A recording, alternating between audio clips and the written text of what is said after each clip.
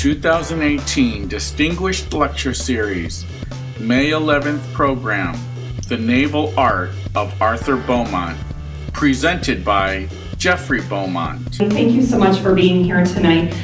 Our speaker this evening, uh, Geoffrey Beaumont, actually reached out to us, um, Michael, our executive director, and me, uh, almost a year ago, I think, and told us a little bit about his dad, Arthur. And I didn't know anything about Arthur Beaumont, and I was so excited to have lunch with Geoffrey when he told us about his dad's career.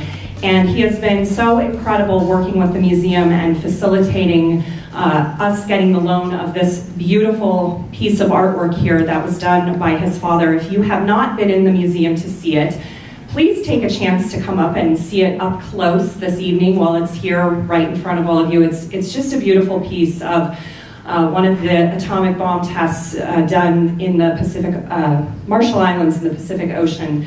And uh, it's, we're so thrilled to have it, and we're so thrilled for Geoffrey's support. And he, hopefully, we're going to have some more of these too on loan coming uh, in the next year or so. So stay tuned for info on that. And I'm just going to turn it over to Geoffrey because he has all of the good info on his father. So thank you so much for being here this evening.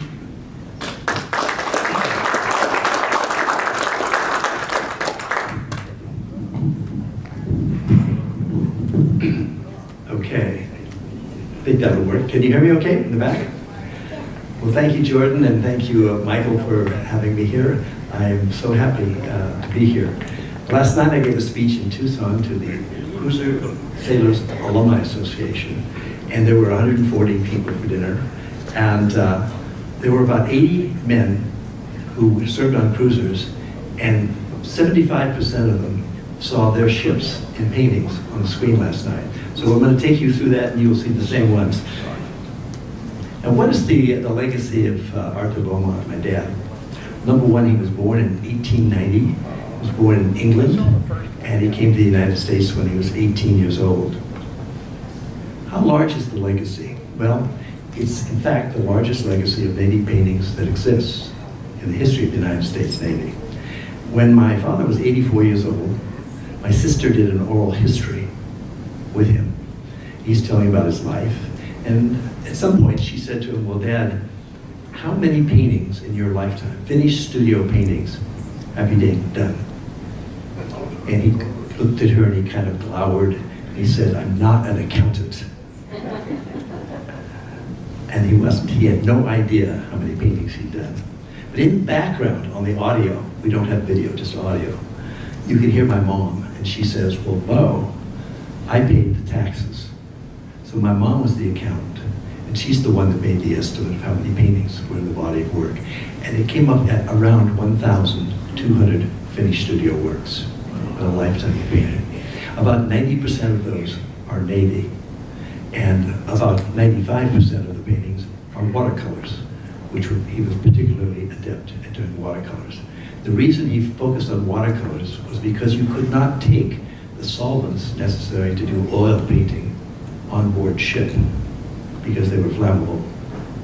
And so watercolors became this vehicle. It was also more portable, so it, it was convenient. But in his lifetime, he also did quite a number of oils.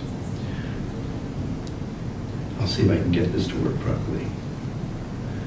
So here's an image of my dad that was done uh, when he was around 60 years old. He was nominated for the National Academy of Artists. And to be a member of the Academy, you have to have a portrait done of you by another artist. So this is the official painting for that purpose. And it's not a painting, it's actually a charcoal, but it's a very good likeness. So taking you back now, let's go back to when he was in England. And here he is as an 18-year-old. He's graduated from uh, high school, and uh, he's contemplating going to college, to university, but he doesn't have the economic substance of his family to, uh, to support him to go to college, and he doesn't have uh, the social status that you needed in England in 1908. So my, his brother, my uncle William, had the same problem four years before. And William solved the problem by immigrating to the United States and was enrolled as a uh, university student studying engineering at the University of California, Berkeley, in the Bay Area. And, and my Uncle William was on campus in 1906 when they had the earthquake. He was part of the engineering team that was set up to evaluate the structural integrity of the buildings on the Berkeley campus, which were built, better built than most. And they were being used as refugee centers for the people coming over from the burning city from San Francisco by ferry boat. So he had quite an experience there. But he's writing to my father and he's saying, the university life here is really exceptional and it's free. So my dad decides he's going to make the journey as well. Now he had one advantage. While he was still in England, he was a member of a Army Reserve Cavalry Corps. And this was, he's in the middle of this group right here. And he's 17 years old. And he became a very accomplished horseman. That became important because when he got to, to the Western Hemisphere, he all kept running out of money to go to art school. And his backup was he became a cowboy. And so his early art, you'll see very shortly, uh, as a cowboy. So here he is, dressed in his cowboy outfit. He's 22 years old. And he, he, he spent about a year and a half, almost two years, at Berkeley in art school, Mark Hopkins Art School, ran out of money, and one of the uh, officers of the university knew the owners of the largest ranch in California, the Miller Lux Ranch. They offered him a job as a ranch hand, and this is the job he took in order to earn money to, return to art school. So he went down to the Central Valley in California, and uh, he worked for the Miller Lux Ranch. And he worked as a assistant superintendent on a 50,000 acre cattle ranch.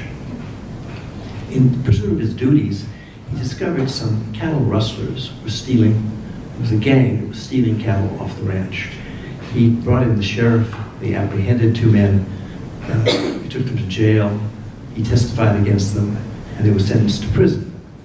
But it was an Italian family, and they swore a vendetta against Bo, and uh, as a result, he, uh, he was beaten very badly by some of the cousins of the people who were in jail. He was almost killed, and he had uh, damage to his, uh, his hearing, he had damage to his brain, he had to have brain surgery in San, San Francisco in 1910, which was, you can imagine what that was like. And uh, he survived that. And he went back to the ranch, and while he was there, there was people were still shooting at him.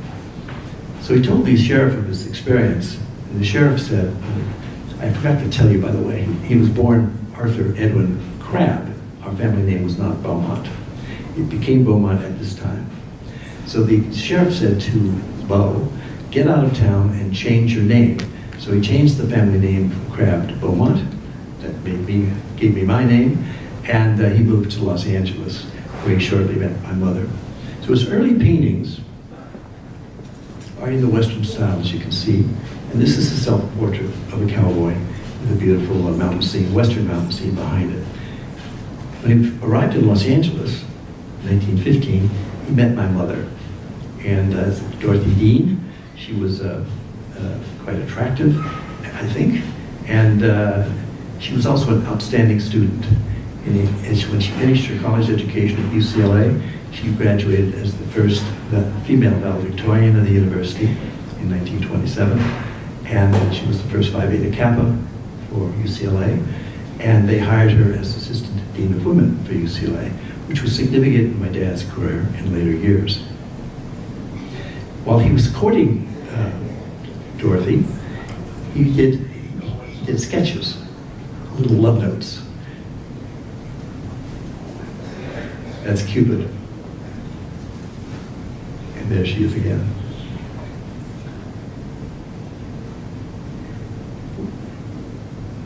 After, after the courtship was a very strange one because my, my grandfather did not like the idea of his only daughter being married to a, an itinerant, unemployed artist from England. So it took a while for, it, uh, for that courtship to work out, but he, he was very persistent and eventually did work out. In 1921, he enrolled back in art school at the Chouinard Art Institute in Los Angeles. And Mrs. Chouinard picked him out as one of the most promising of the uh, students at that time. She arranged for him to have a fellowship to go back to Europe.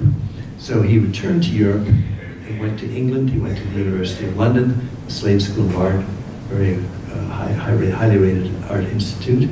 And he also went to the Académie Julian in Paris.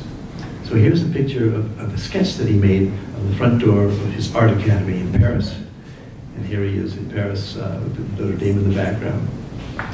When he came back from Europe in 1920, late 1926, he went back as a, a professor at uh, Chouinard Art Institute. And by 1929, he decided he had enough uh, backing that he could set up his own studio. So here's his, um, his own studio. He made a sketch it. And uh, he, he opened this in August of 1929. Well, that was bad timing because the stock market crashed in October of 1929 and it destroyed the art market completely. So in the pro process after that, he couldn't go back to his job. He, oh, he closed the studio in, in, March of 1930 and he couldn't go back to his job, the Art Institute, because the position had been filled. So uh, my mother got him a job in charge of art uh, productions art design for UCLA publications. My mom at this point in time was the assistant dean of women at UCLA. And at that time he was also painting paintings in the French style. So here's a painting of my sister called Little Mother. It's, um, she's seven years old there, and she's not holding a baby, she's holding a doll. So she is the Little Mother.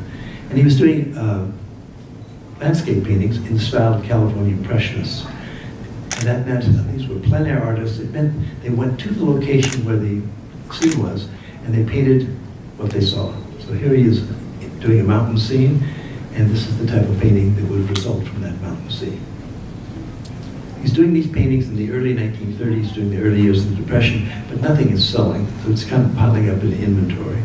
He also did impressionist paintings of sailing ships, and this is before he got introduced to the Navy. You can see he's very impressionistic. And he was doing seascapes, California seascapes. And he did one religious painting, which was an altarpiece for the uh, Episcopal Church in Point Hope, Alaska, the northernmost Episcopal church in the world. He also was giving classes in the harbor and doing regular uh, watercolors of harbor scenes. He loved uh, all the boats that he saw there, and he particularly liked fishing boats. He liked the complexity of them, the design of them, colorations. These were scene paintings, and he loved to do the wave action. Was, that became one of his trademarks in later years. And also his colorations were very visible. So in 1931, it was announced that UCLA will be the sponsor the 1932 Olympics. And because he was head of art direction for UCLA at that time, he got the position of doing the Olympic posters for 1932. So what he did was he designed a series of every city that had hosted the Olympics from 1896 in Athens to Paris in 1900, St. Louis 1904, London 1908, Amsterdam 1912, did Stockholm, uh, did uh, the city of Belgium as well. So we did a total of nine, and plus Los Angeles. I picked one image to put in, the, in my book, which is the image of London because my dad was English. But this is, uh, is what the Olympic poster for 1932 was. When we had the 1984 Olympics in Los Angeles, we loaned them all these posters and they integrated into the publicity uh, for that event. And now, as you know, you see, uh, Los Angeles has been selected for the Olympics coming up after Paris, and uh, we'll be using these same posters once again. So in 19, early 1930s, he's doing these harbor scenes, but if you look very closely at this one, what do you see in the background? On the right-hand side, the left-hand side, you see the United States fleet. For the first time, this is before he was the artist of the Navy, he's painting Navy ships. And one of the captains of the battleship Arkansas was an art collector, saw his work, and said, do you do portraits? I'd like you to do my portrait. He said, it's 1932, 1933, I'll do anything. so here you are. He's in the admiral, he's in the captain's cabin. There's the captain sitting for it. Bo did not work from photographs. He insisted that people who did portraits of have to sit for him so he could study their personality and do different aspects of uh, his studies. So here you see the portrait, you see he's in the cabin, captain's cabin. And this captain also um, had him do paintings of the ship. So here's a very extraordinary painting of the ship. It's, it's really a scene painting, a Navy scene painting, but it's the battleship done from the underside while it's in dry dock. You see all the workers that work there. But if you look at it very carefully upper right, it's a very abstract painting.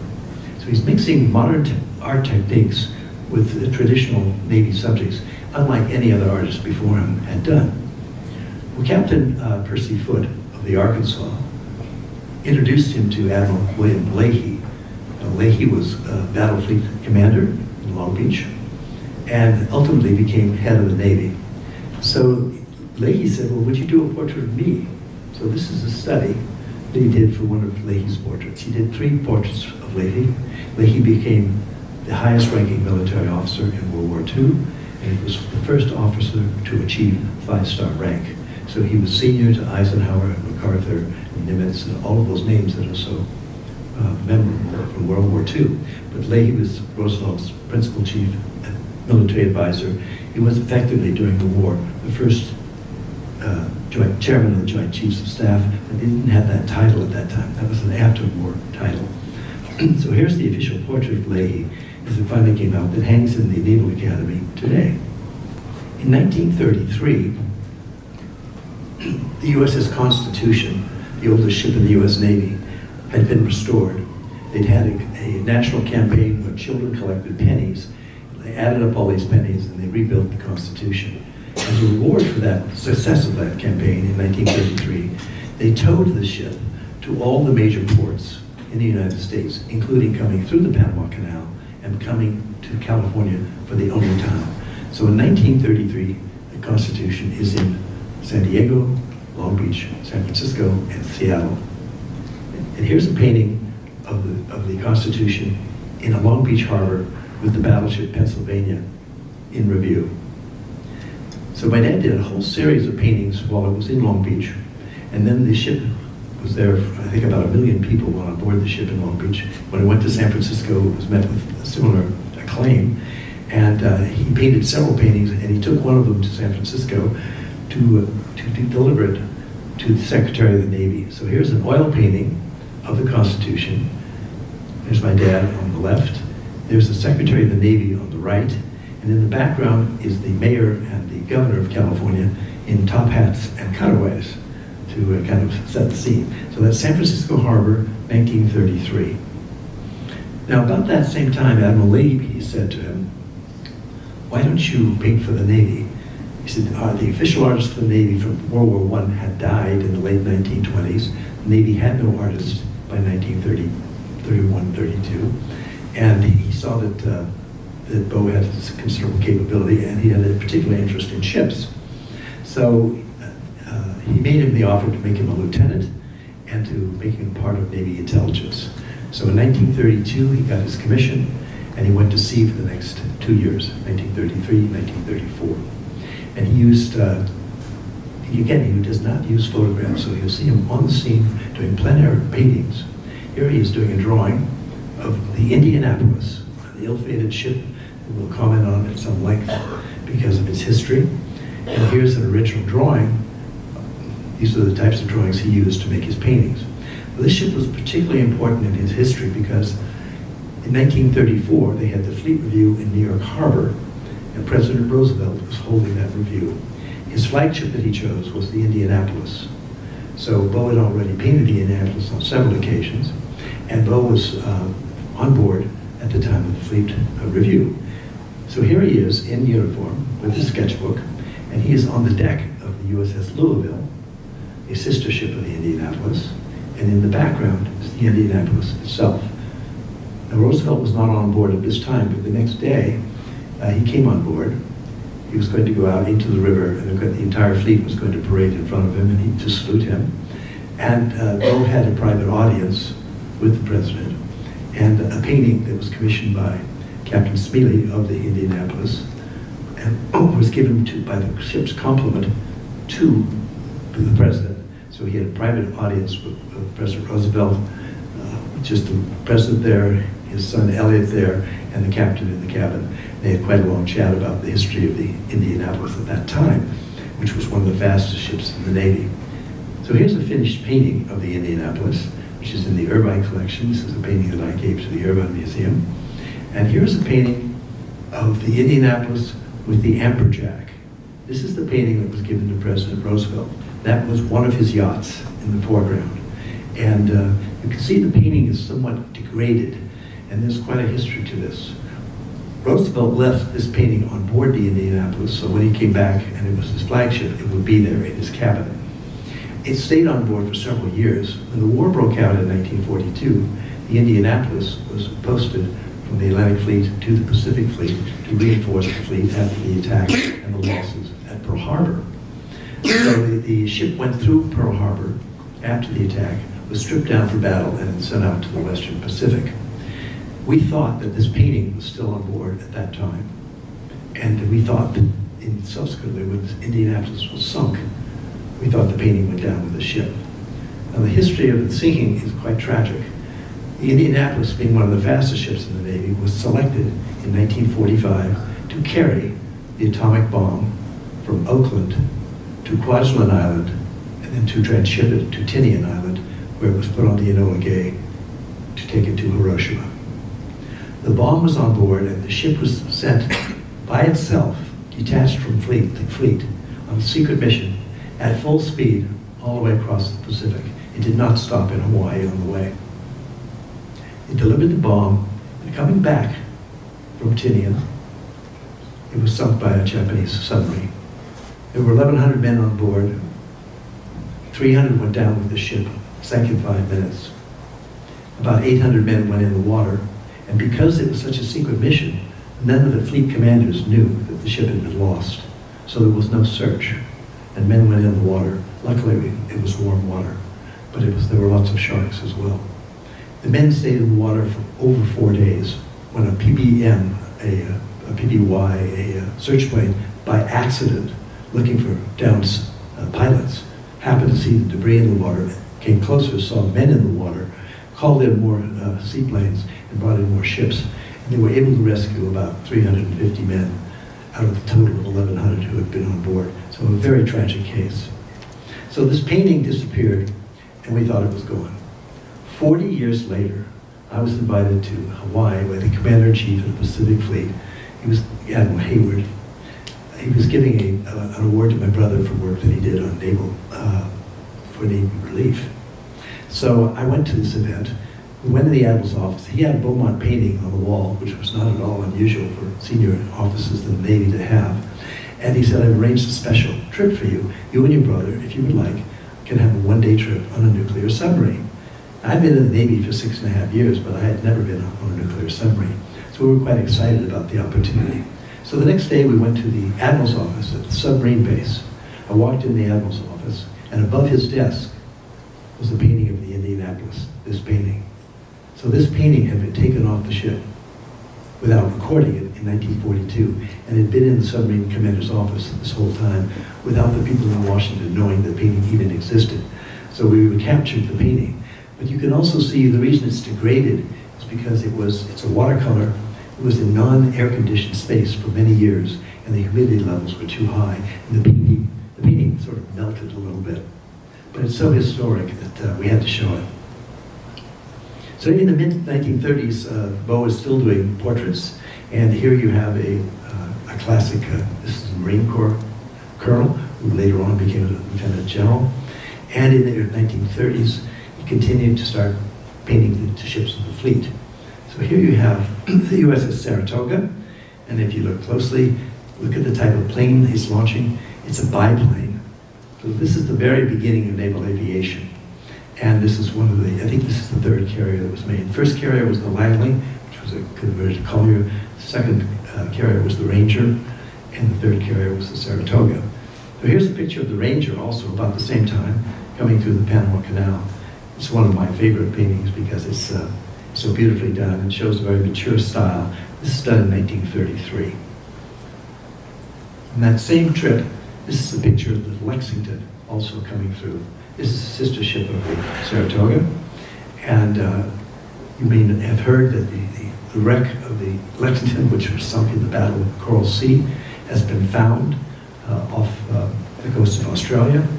And uh, that was found by Paul Allen's group only about uh, two months ago. So it's quite extraordinary they, uh they can't dive on the wreck though because it's in about 3,000 meters of water. At the same time, the uh, was painting ships of the Asiatic fleet. You see here Chinese uh, sampans in the foreground. And he was doing naval recruiting, so he would do Navy posters.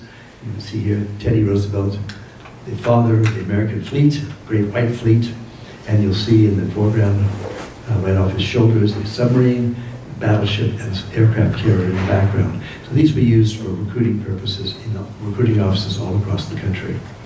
And then he would just do paintings that had a great deal of drama. Here you have scout planes from the battleship uh, Tennessee down below. These are amphibious planes. Uh, they were catapulted off the battleship. They, then, they didn't have radar in those days. They would go out ahead of the ships and try and scout uh, for enemy ships. And then they would come back, land in the water, and there was a, a, a crane on the ship that would put them back on board. So these were not carrier based, they were based on a uh, battle fleet. In 1934, almost 35, Bo realized that if he stayed in the Navy as a regular officer, all the paintings that he did belonged to the Navy. Just if a photographer is working in the Navy, all the photography would belong to the Navy. So what he did, he, he was very clever. He joined, he resigned his commission, regular Navy commission, and he joined the California Naval Guard. And that was a, uh, there was a reserve unit in Los Angeles, so he was able to attend the, the uh, various sessions that they had in Los Angeles and also maintain his studio. In that way, the paintings that he painted were his to keep. So he would barter with the Navy and said, if I go on this expedition, I'll give you six paintings, but the rest of them I keep. And he could sell to a private clientele. And all the Navy officers, senior officers, almost all the captains of the ships, if you got a major appointment to a ship, you wanted to have a Beaumont painting. It was just kind of Eric, the come-to guy to do all that. So he, in this in this reserve unit, he also met John Ford, the movie director. And John Ford uh, became a very good friend. My dad became one of his drinking buddies, and that led, of course, to an introduction to John Wayne, who was one of the, one of the artists that worked with John Ford.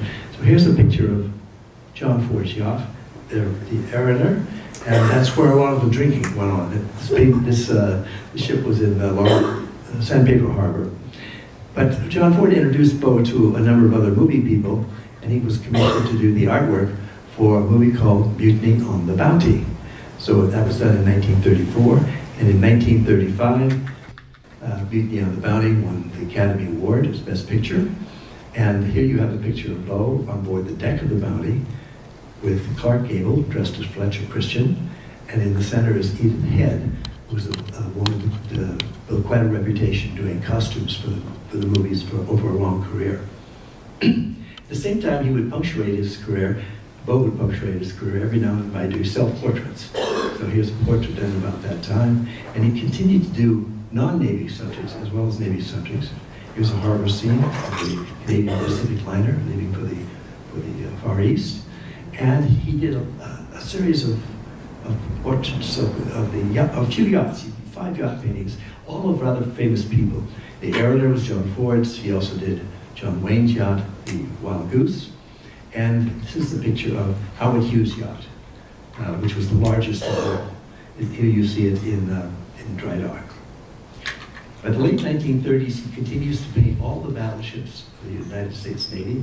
So all the ships that were later sunk in Pearl Harbor are photographed, uh, are painted, uh, and he went on board all of them. This is the USS California. This is the USS Oklahoma. This is a painting that was in my collection. I gave it to the Arizona Memorial. At the time, it had a notation on the back of the drawing of, of, the painting, which I think was in my father's handwriting, that said, uh, it, it, said, this is the uh, Arizona. And so I gave it to the museum on the premise that it was the Arizona. And in fact, it was not. It was the Oklahoma. And they were delighted to have the painting because they had many paintings of the no paintings of the Oklahoma. And this is the one that suffered the second largest casualties after the Arizona at Pearl Harbor. You may remember this, if you've seen the pictures of Pearl Harbor, this is the ship that turned over and caught so many men inside where they drowned. So leading now up to the late 1930s, these are, these are more battleship paintings. This is the New Mexico and the uh, West Virginia. And here's an oil painting of the battleship Pennsylvania. If you it's quite different if you'll notice it. It's painted in the California plein air style, uh, which means impressionist style. The first ship, the lead ship, is very detailed, but the other ships, as you can see, are just suggested. This is a painting that's uh, in my collection, and uh, I think it's one of the most beautiful that I have. It is a, uh, it's an oil, as opposed to almost all the other paintings I've showed you are watercolors. And here's a painting recently discovered of the USS Arizona, painted in 1940, one year before Pearl Harbor. So in late 1939, um, Bo had met uh, William Randolph Hearst through John Ford. And he'd been invited to go up to San Simeon. They had some of these wild parties that Hearst would give. Marion Davies was a good friend of my dad's. And uh, in 1939, William Randolph Hearst hired Bo to be the chief illustrator for the uh, Hearst publications across the country.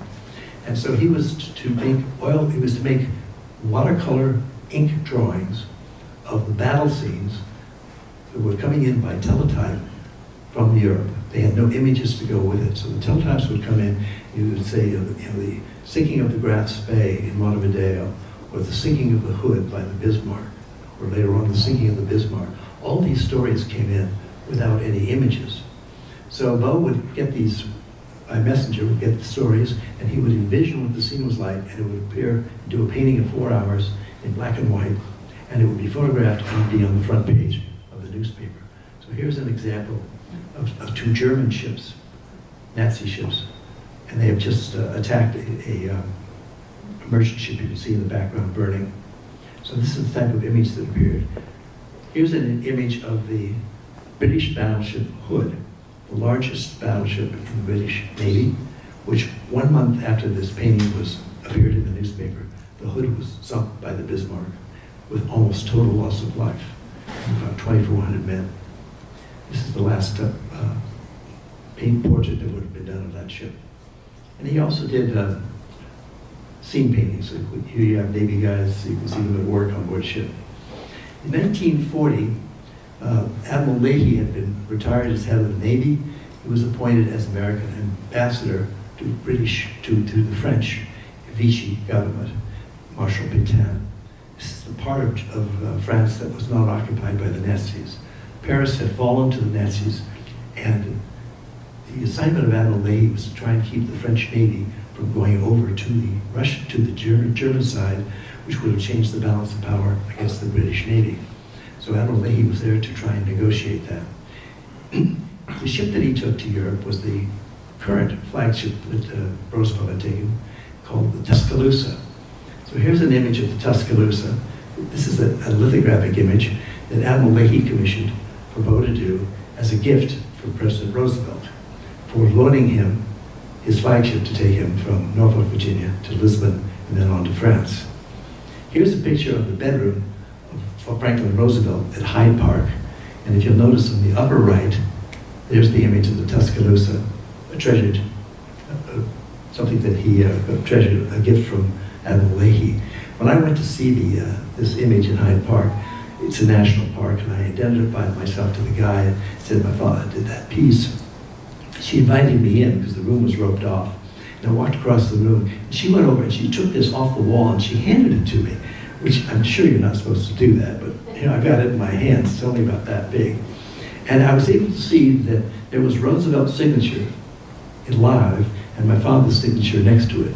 So that it said that there'd been a presentation where the two of them had been there when they had, uh, uh, it had been given by Admiral Leahy. So that it's now in the national park, it will always be in that location. Now, can, the war is about to break out, and in the U.S., we're watching what's happening in Europe. The Nazis have taken over most of Europe. Japanese are acting up in the Pacific. And there, there are a number of military people on the board of the National Geographic magazine who see the war is coming. And so they want the National Geographic to do something to accentuate the, uh, the war effort before the war broke out. So the head of the Navy, former head of the Navy, uh, got the National Geographic to commission him to do nine paintings will be published in the magazine. These paintings were done in 1941 and were published in the September 1941 issue, three months before Pearl Harbor.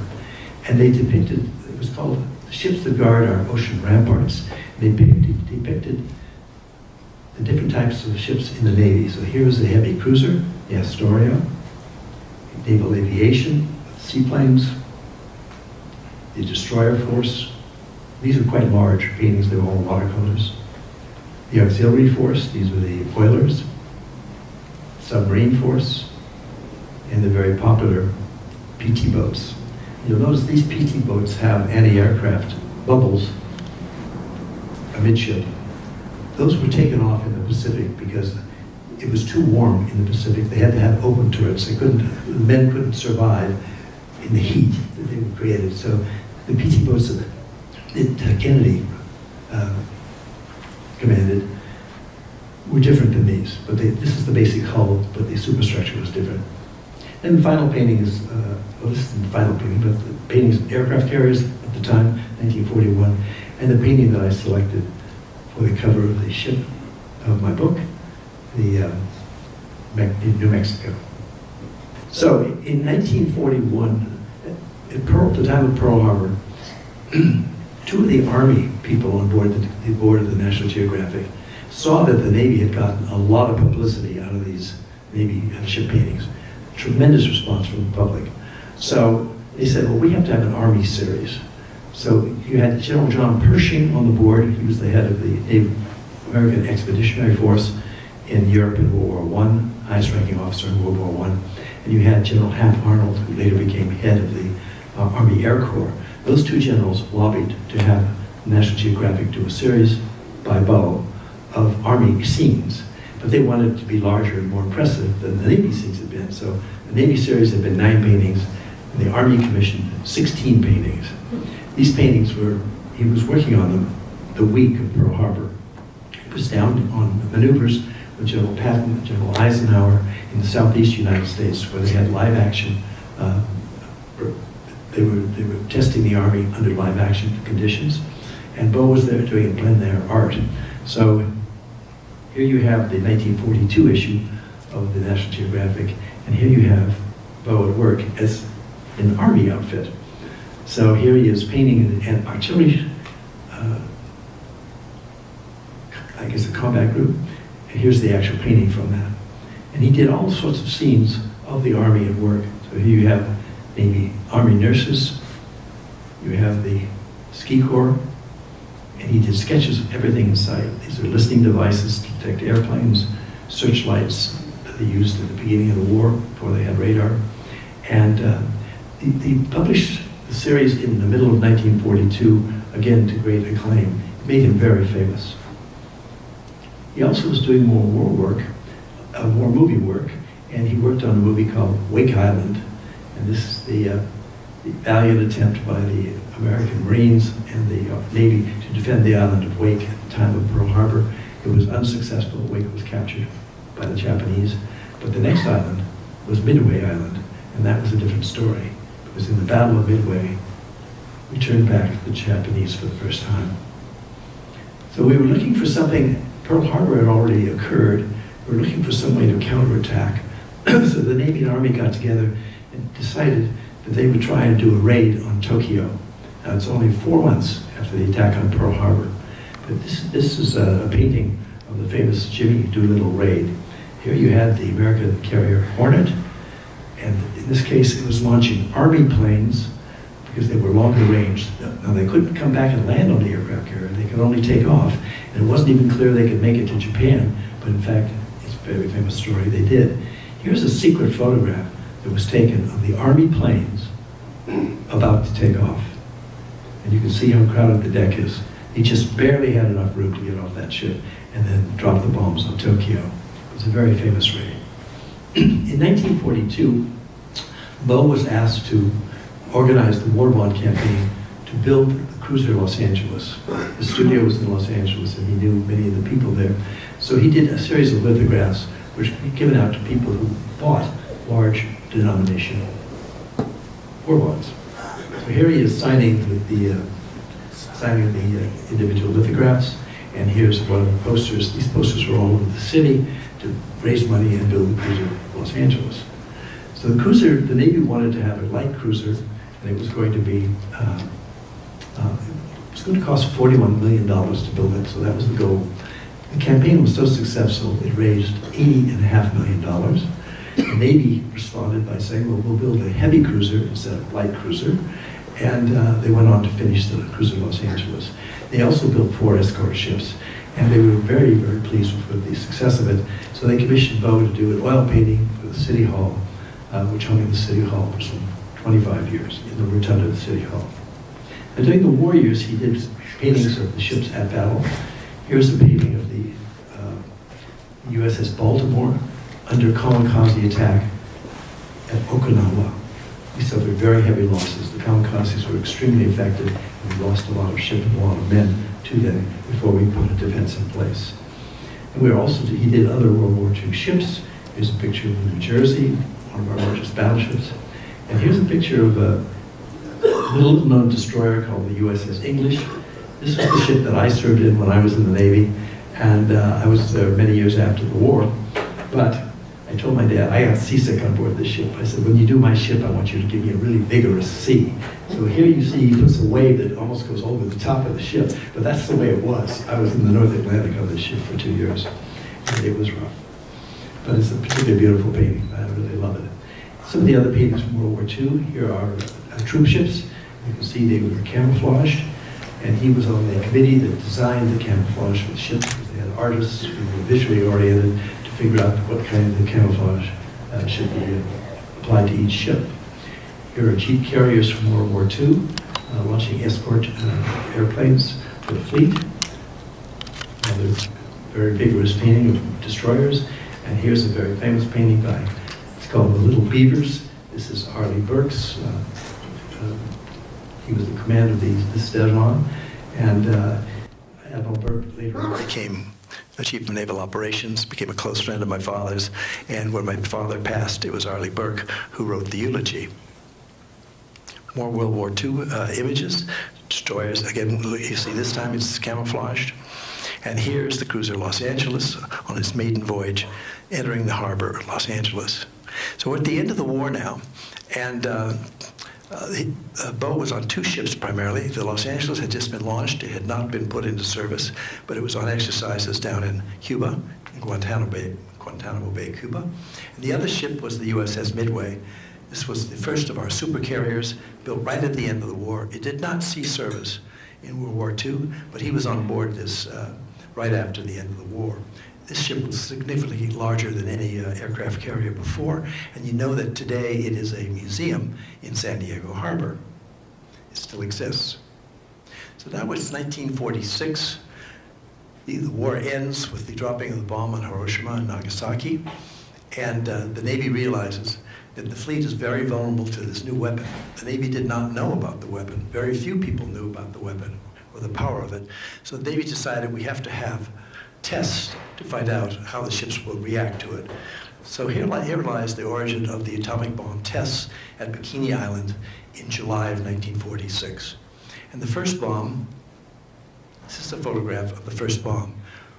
Bo was on this ship, and he had a quartermaster next to him, and he had a, a, a he had a, a sketch pad, and he was trying to catch the shape of the cloud as it rose to 30,000 feet. So he's doing one sketch every five seconds, and the quartermaster is putting is timing it so later on he can recreate the exact shape at a certain time. So here's the photograph, and here's the painting that resulted from it. This is the first painting of the atomic bomb. This is the bomb that was dropped by the Air Force from above on the Nevada as the target ship, which was painted red. This painting here is the second bomb.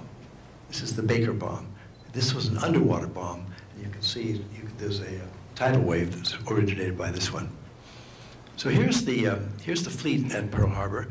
Now the Navy intelligence had uh, distort the spatial relationships between the ship. They were much spread out over much greater distance than this. They are in the right locations one to the other, but they are spread out with many uh, hundreds of yards between them. You'll see that in the photographs also. Uh, but he wanted to, and the, the, the, Nevada is painted red because it was a target ship. Well, when the bomb was dropped, the Air Force was the one that dropped it, and they missed the target ship, and the Nevada survived uh, the bomb drop. So here you have it damaged but surviving, and here you have it at a night scene, again, uh, with ships burning in the background.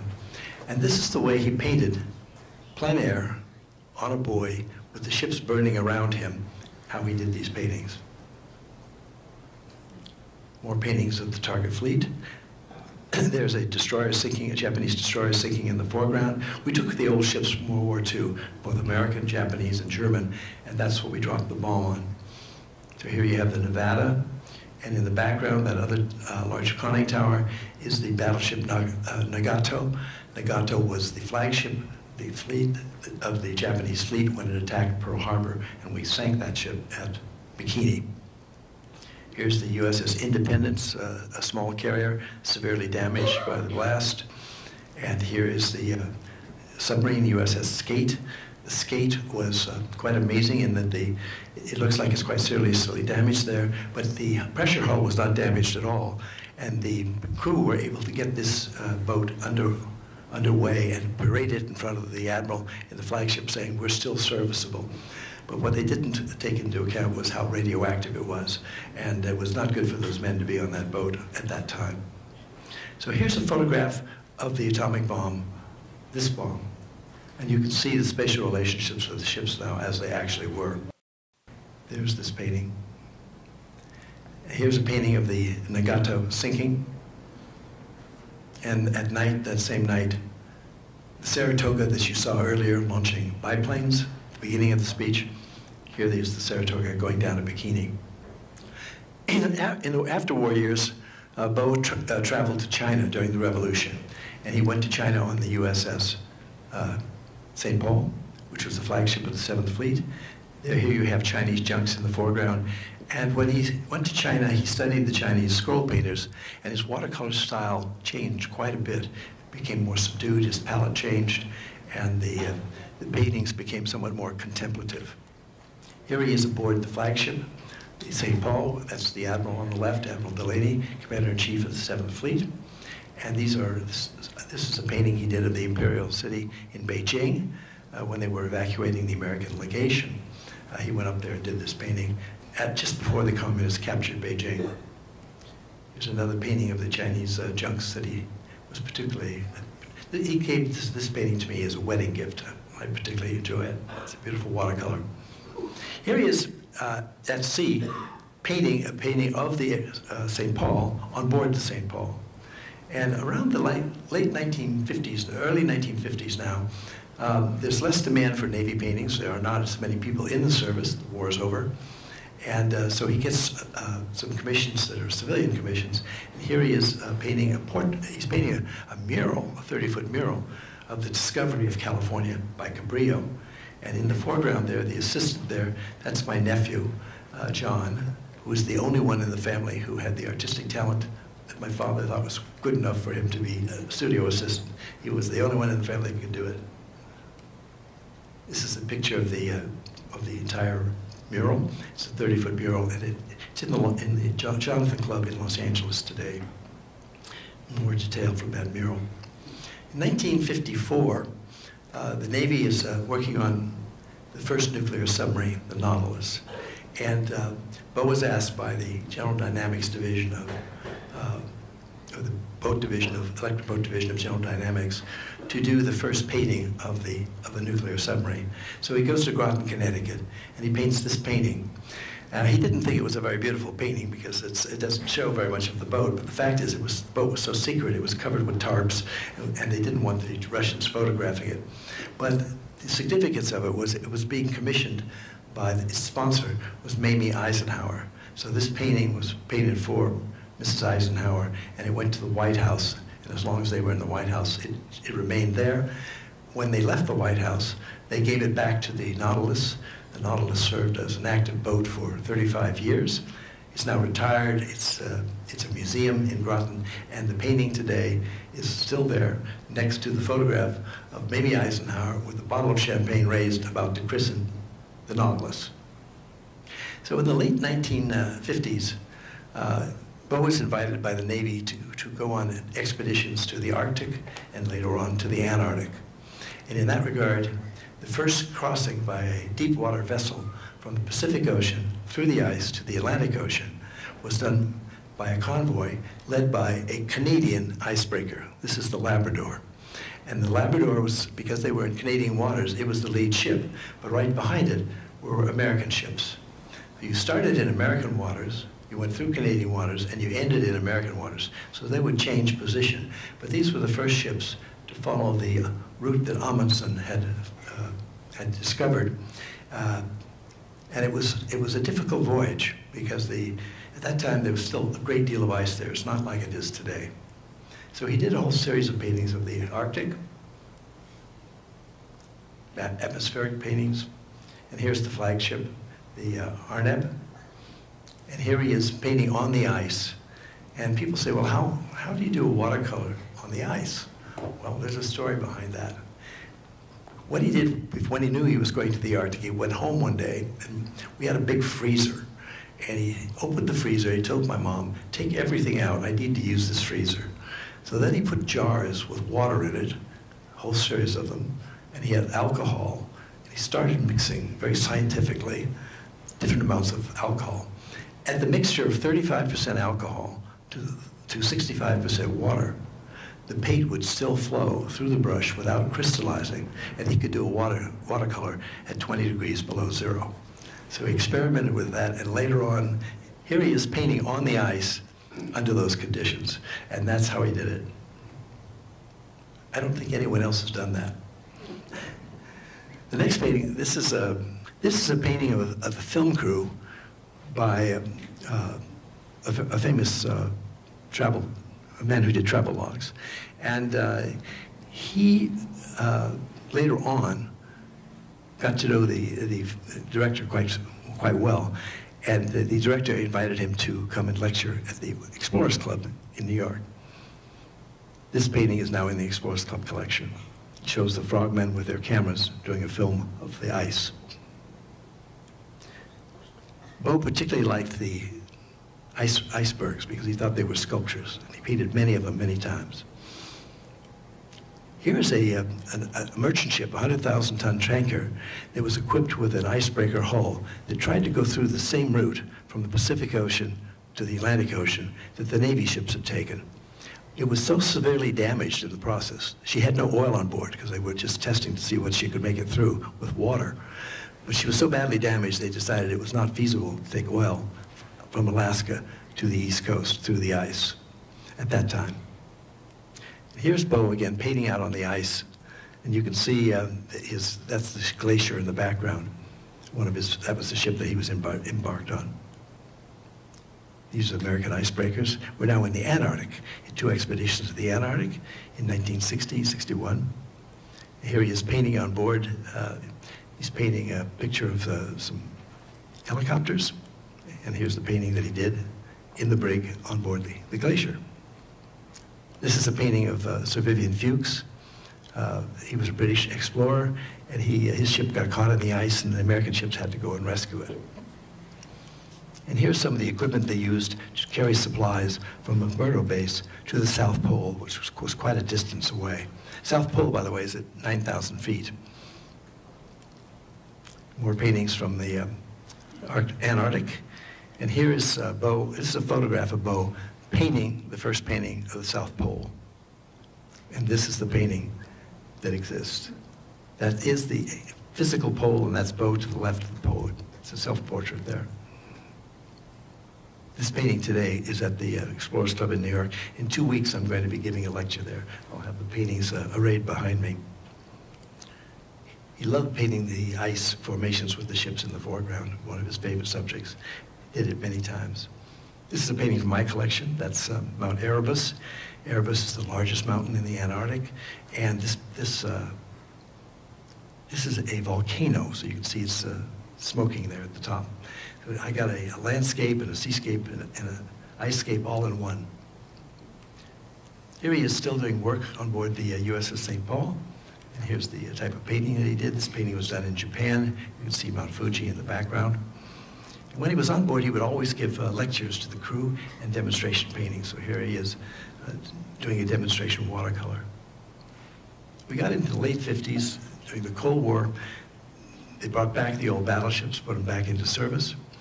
And in 1961, he painted this painting of the USS Rochester.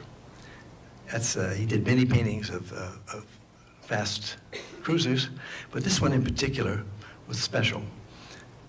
It was the year that John Kennedy was uh, inaugurated, and the governor of California, Pat Brown, was Edmund G. Pat Brown, the father of the current governor, came to the group at the Army Navy Club in Los Angeles, of which my dad was a member, and said, we need to have a, a gift to give to President Roosevelt, to President Eisenhower, President Kennedy. he, gave, he was in all those collections, by the way. but anyway, so uh, Kennedy's the right one. This is the USS Rochester, and the governor carried this painting uh, to Washington and delivered it to Kennedy at the inauguration. In later years, Bo did a, a painting of the PT-109. So here's a painting, a picture of a, a Bo in his studio. It's quite significant because you can see a painting partially completed. Here you have the aircraft carrier John F. Kennedy. In the foreground, you have the, the uh, destroyer Joseph Kennedy. Both of these uh, ships never they never operated together, but artistic license allows him to put these painting these ships together for the Kennedys. So there are the two Kennedys. That's the finished uh, finished uh, painting. More scene paintings of the aircraft carriers during the time. And this is a painting of a guided missile uh, destroyer by the name of the USS England. This painting was given to Queen Elizabeth and to Prince Philip when they, uh, they came to visit Long Beach to see President Reagan in 1983. They took this painting on Britannia back with them, and it's now in the Royal Collection in London. These are uh, nuclear submarines done in the late 1960s during the Cold War. Uh, towards the end of, uh, of uh, his career, he began to, to paint sailing ships once more. He went back to it. And one of his famous ones was the uh, Coast Guard vessel Eagle. Here's a painting, a finished painting of the Eagle done in the late 1960s, early 1970s. And at the same time, he knew Walt Disney. He'd known Walt Disney since the days when he was at Chouinard Art Institute. And Walt was invited to come down and have a, uh, spend a day on the, on the Eagle. And he invited my dad to go along in his plane with him. So he flew down to San Diego. They took a helicopter out to the escort ship. And then they went by launch over to the uh, Eagle itself. And here's a picture of, of Bo on the deck of the Eagle with Walt Disney looking at his drawing and the captain of the Eagle. And this is the painting that was the resultant painting from that event. So you see the escort ships in the background. And uh, you can see the vigor of the seas again, which is one of his trademarks. So he also decided to expand his paintings of the historical ships leading up to the bicentennial in 1976, the 200th anniversary of the country. And he wanted to paint all the ships from the, the Revolutionary War and from the War of 1812. So we went back historically. The Navy sent him the rigging uh, designs of each of the ships so he, he could do it with authenticity. And he, would did, he did most of the ships that existed in the early Navy, including some battle scenes. This is a battle scene from the War of 1812 on Lake Champlain. This is a, uh, a Navy, is the first uh, American ship, to, Navy ship to go into the Antarctic. This is one of the largest ships in the Navy in, in the War of 1812. And then he did paintings of the Constitution and the Constellation. And his last trip with the Navy, towards the end of his life, he's now 79 years old, and he's invited to go to Vietnam. The war is, uh, is not going well there, but uh, he's going to paint the Navy aspect of it. Uh, during the World War II, he was never allowed to go into a battle zone because he was a major part of Navy intelligence, Navy major part of uh, Navy public relations. It was too valuable to Navy. They didn't want to risk him. But in this case, he always wanted to go. So Admiral Leahy was no longer on the scene, and uh, he got the Admiral to give him orders, and he went to Vietnam. And here he painted the, the river boats on the Mekong River. And he painted the uh, escort ships interdicting the uh, Viet Cong supply lines off the coast and the aircraft carriers that were launching the attacks on the mainland. And also the uh, hospital ship that was there to, uh, to take care of our wounded. So we're now at the very end of his career. One of the last things that happens is the Queen Mary arrives in Long Beach. So he did the last voyage of the Queen Mary. You'll see in the background, you'll see the uh, nuclear cruiser Long Beach in the background. And this image of the Queen Mary is a very famous image. It was adopted by Cunard as part of their publicity. And it is entitled The Last Voyage of the Queen Mary. Now you saw in the beginning of his career, the first Navy ship you saw was the carrier Saratoga launching biplanes. One of the last paintings that he painted was the nuclear ship, the Enterprise. You can see there are no smokestacks there, launching the latest jets. So this is the scope of the technology that he started with, with ships that were burning coal and launching biplanes, through the ships that burned oil during World War II, and at the end of it, the nuclear submarines and nuclear carriers. And this is the last photograph taken of me with my dad when he was 86 years old at the opening of his retrospective exhibit. And that concludes the legacy of Arthur Beaumont. Thank you so much.